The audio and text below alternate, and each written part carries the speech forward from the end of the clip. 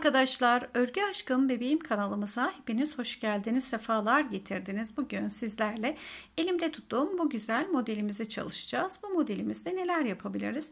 Bebek battaniyeleri örebiliriz, normal battaniyeler, bebek örgüleri, yetişkinler için güzel e, yazlık bluzlar, hırkalar, ceketler örebiliriz, e, kırlentler çalışabiliriz. Yani dilediğimiz her yerde bu modeli kullanabiliriz. Tek renkle örebileceğimiz gibi iki renklerle ya da benim kullandığım gibi 3 ya da daha fazla renkle de bu çalışmamızı yapabilirsiniz. Ben bu modelimizde 3 renk kullandım. Sizler daha fazla da renkler kullanarak yapabilirsiniz. Şimdi modelimizin yapımına geçelim ama öncesinde kanalımıza abone olarak e, beğeni ve yorumlarınızla beni desteklerseniz çok mutlu edersiniz beni. Evet hemen kolay gelsin diyerek bu güzel modelimizin yapımına başlayalım. Kolay gelsin. Zincirimizi çekerek modelimizi kurmaya başlayalım. Şöyle ilk başlangıçta rahat zincirler çekmekteyim. Öreceğiniz ölçüye göre zincirimizi biraz da fazlasıyla ayarlarsınız. Eğer yelek, e, süveter çalışacaksanız zaten e, lastiğimiz olacaktır alt kısmında. Onun üzerine direkt çalışmamızı başlatabiliriz. Bu zincir yerine direkt hazır zemin üzerine çalışabiliriz. Evet. Birkaç tane daha zincirimi çekiyorum. Ve modelimizi kurmaya başlıyoruz. Şimdi şu kadar zincir yeterli olacaktır. Geriye sayıyorum. 1, 2, 3, 4, 5 ve 6. 6. zincirin içine tığımı doluyorum. Şöyle bir tane giriyorum. 1, 2, 3 defa da çıkıyorum yukarıya. Aynı yere bir daha doluyorum ve batıyorum. Yine 3 defa da yukarı çıkışımı yapıyorum. Üçüncü kez aynı yere örüyorum ve 3 tane trabzanımı aynı zemin içerisine ördüm. Şimdi devam ediyorum. Zincir çekmiyorum yukarıdan. Aşağıdan sayıyorum. 1 2 3. Üçüncü zincir içerisine batıyorum. Yine birinci trabzanımı ördüğüm yere 3 tane trabzanımı örüyorum.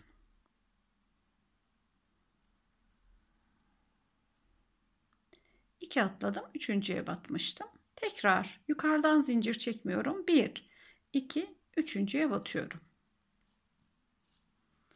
İlk battığım noktaya iki tane daha örüyorum. Toplamda üç tane trabzanımı aynı yere çalışıyorum.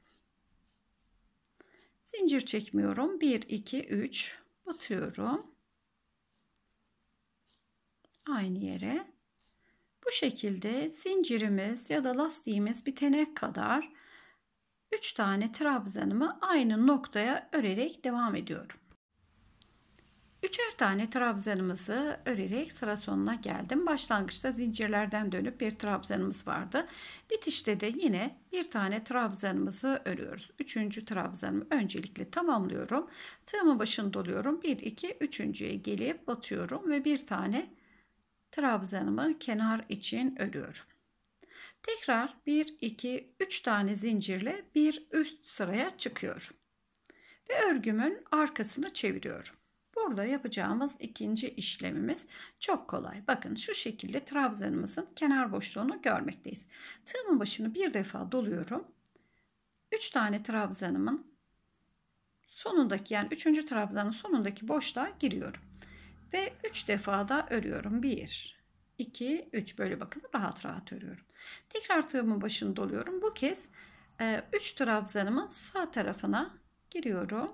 Alttan alıyorum. 1, 2 ama öncesinde e, trabzanım sonrası bir tane zincirimi çekiyorum. Araya zincirimizi unutmayalım. Sağ taraftaki boşluğa giriyorum. Rahat rahat 1, 2, 3 tane trabzanımı çarpı şeklinde örüyorum. Araya zincir çekmiyorum. Bir sonrakinde bir daha çalışalım bakınız.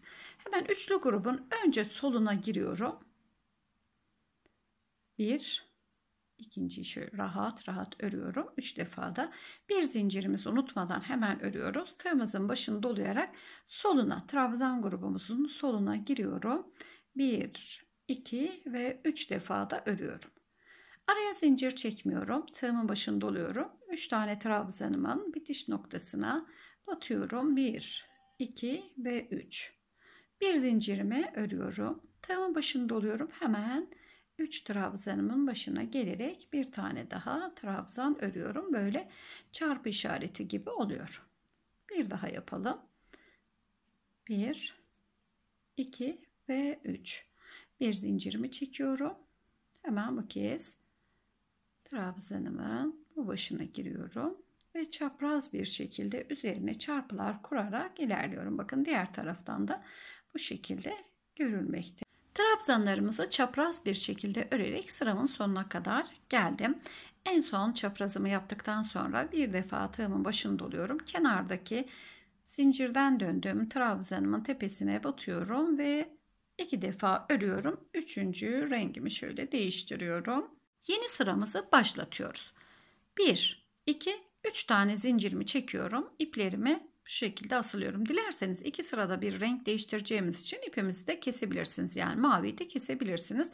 Kesmek daha e, mantıklı olacak. Çünkü o ara biraz uzuyor. Keserek ilerleyebilirsiniz. Evet zincirimi çektim. Örgümün yönünü çevirdim. Şimdi alttaki yapmış olduğum işlemin birebir aynını tekrar ediyorum. Bu kez burada bir tane zincirin içine üç tane zincir çekmiştik ya. Bu kez yukarıdaki bir tane çaprazın arasında zincirimiz vardı. Bu araya üçer trabzanımızı öreceğiz. Aralarda zincir çekmeden ilerleyeceğiz. Bu kadar kolay. Tığıma başını doluyorum. Araya giriyorum bakınız. Çaprazın tam orta yerine 3 tane trabzanım örüyorum. Ve 3 defa da örüyorum. Bazen hızlı örüyorum ama trabzan diye zaten e, çok rahat yapabilirsiniz. Araya zincir çekmiyorum ve giriyorum. 2 ve 3. Arasında zincir olmadan her bir çaprazın arasındaki bir zincirlik yuvacığa giriyoruz ve üçer üçer trabzanlarımızı buraya örüyoruz. Tabi ipimizi kesebilirsiniz. Dilerseniz e, her sırada da farklı renkle de örebilirsiniz. Her yani her sıradan kastımız bu çiftleri Kalan ipleri de değerlendirebilirsiniz. Boyu da çok çabuk kalkmakta. Sona kadar trabzanlarımızı ördüm. Şimdi en son e, buradaki bir tane 3 zincirden oluşan trabzanım vardı. Tepesine batıyorum. 1, 2 ve 3. Şimdi buradaki çaprazlarımızı yapmaya hazırız. 1, 2, 3 tane zincirimi çektim. Örgümün arkasını çevirdim. Bir defa doluyorum.